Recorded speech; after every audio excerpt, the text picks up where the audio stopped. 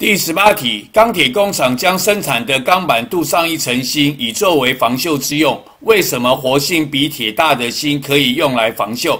这是我们上课老师讲过的。锌呢，在氧化的时候会生成一个致密的氧化层，保护内部呢不再继续碰接触到氧，不会再继续被氧化。所以第十八题问我们说，为什么活性比铁大的锌可以用来防锈？我们答案选的是 B，锌的氧化物结构紧密，能防止内部继续氧化。